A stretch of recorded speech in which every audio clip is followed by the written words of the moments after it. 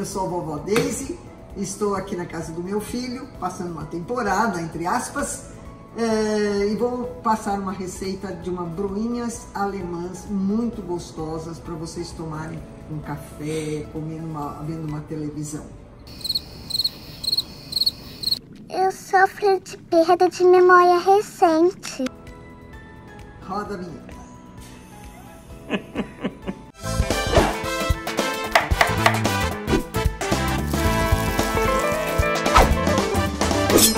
Like na cozinha. Na minha última receita, eu passei a, a, receita de bolachas de nata. Se quem quiser pegar, é só clicar aqui. Ó. Hum, mas que bolacha chique, tecnológica. Agora, vamos ao que vai nas broinhas alemãs. 250 gramas de manteiga, não margarina, viu gente? Manteiga, eu até tirei mais cedo da, da geladeira para poder ficar mais mole. Entendi. 450 gramas de farinha de trigo, não mais, não ponham mais. Ok, vó. Uma colher de chá de, uh, de baunilha. Tá, vó. 300, 400 gramas de, de fermento biológico.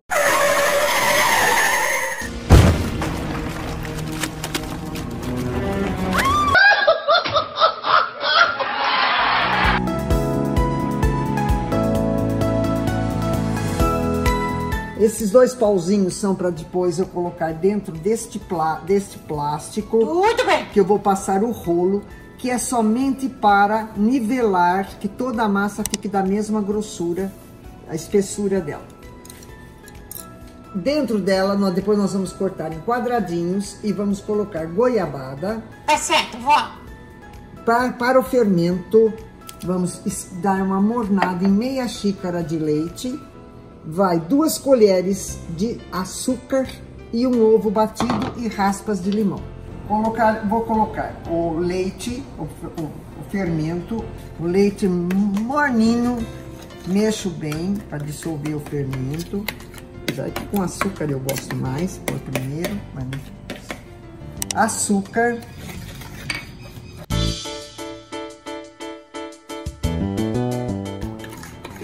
colocando manteiga.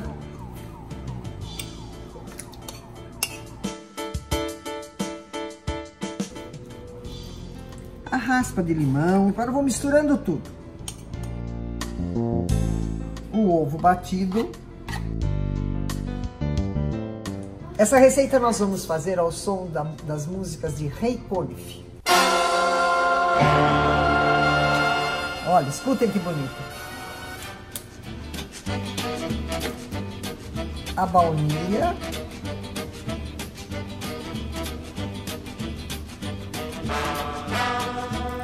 Vou pondo aos poucos. Melhor mesmo é colocar com a mão e não adianta, porque há necessidade. Deixa eu lavar a mão? Hum? E a manteiga derrete facinho, né? É, porque eu já tirei da geladeira desde bem mais cedo, que é para não ficar muito dura, senão é difícil de a gente... O próprio trigo limpa suas mãos, assim, para tirar o excesso de massa. E usem sempre uma mão só, porque de repente toca um telefone, toca uma campainha.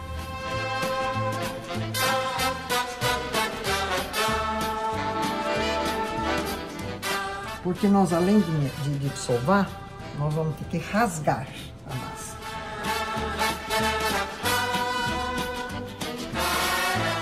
Rasga-se a massa com a mão assim, ó. ó. É assim que se sova esta massa. É uma massa suave, né? É. Pronto. Não precisa muito.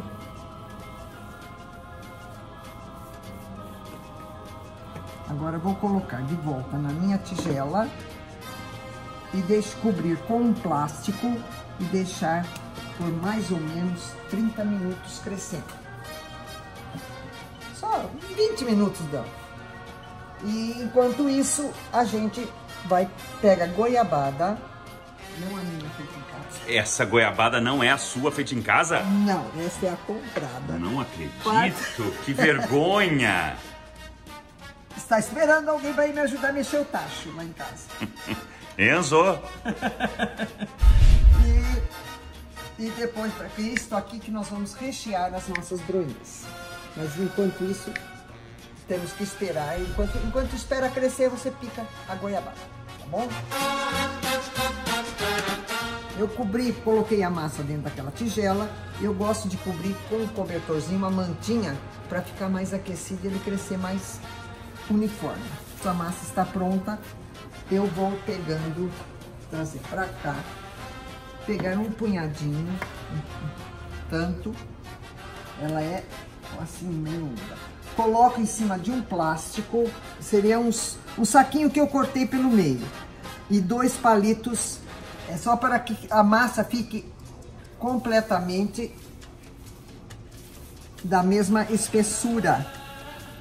Então agora você vai passando aqui, meu, meu que eu. Olha. Então o, o pauzinho deixa o meu, o meu rolo na mesma altura total. Olha, ó. ó. Mas se a pessoa quiser abrir seu pauzinho, dá certo? Vai ficar o meio mais alto e as, geralmente as pontas ficam mais finas. Porque daí você não tem uma...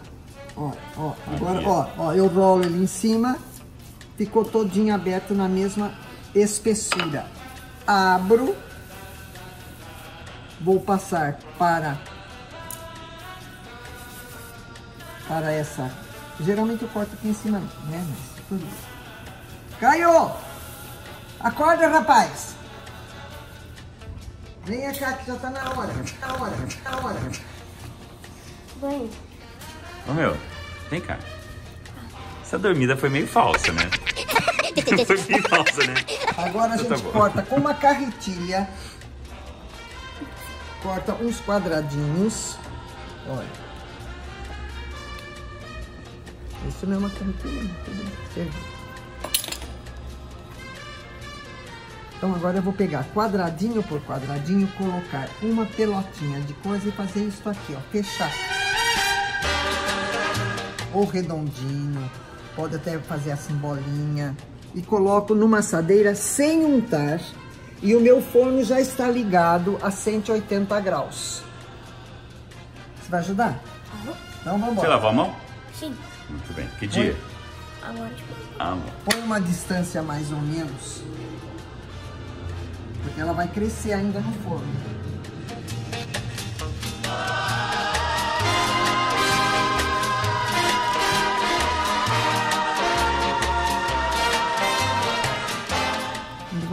Leva-se depois que completar a assadeira, leva ao forno, ele vai crescer. Agora por quantos minutos? ah, não sei, isso eu já não posso calcular. Isso eu nunca calculei.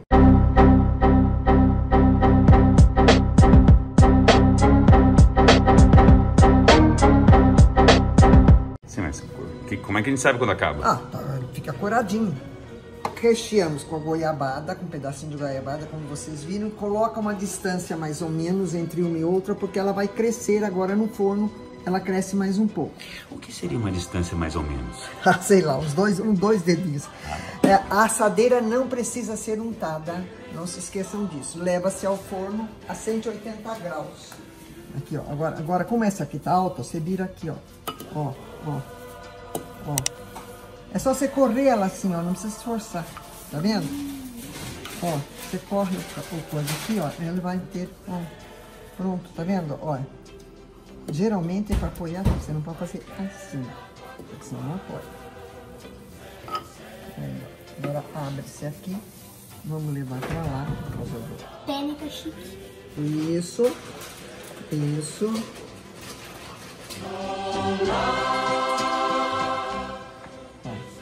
Agora vamos lá, Nutella agora. Oi? Vamos rechear Oi? de Nutella. De Nutella? Ó, vai dar, ó.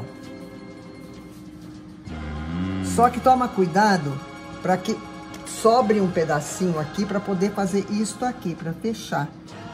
Porque se você borrar inteiro o quadrado, não, não tem como grudar. Pronto. E vamos colocar lá. Ele- ela fica no forno até corar, pode ser até um pouquinho menos se quiser, mas não tem problema. Aí, ainda quente, eu passo no açúcar de confeiteiro e boto aqui. Ó.